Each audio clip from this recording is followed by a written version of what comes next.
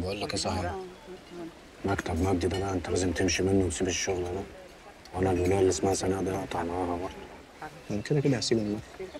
أنا بس مسؤول في المادة اللي عندي في الكلية. تخش الامتحان؟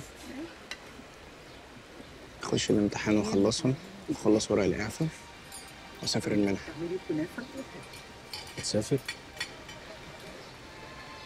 بس ما تقلقش هرجع في الأجازات. تقلقش عليا. ولا على أمك وأخوك. أخوك هيسيب أنا عارف إنك هتسد لو ما كنتش هتسد ما كنتش همشي. شكلك اتوحشتني يا حسين. ودي آخر حاجة في الدنيا كنت استناها. قلت لي اسمك حسين إيه؟ حسين العمدة خفيف احسبك حسين البرنس. لا يا راجل ده اللي قبلك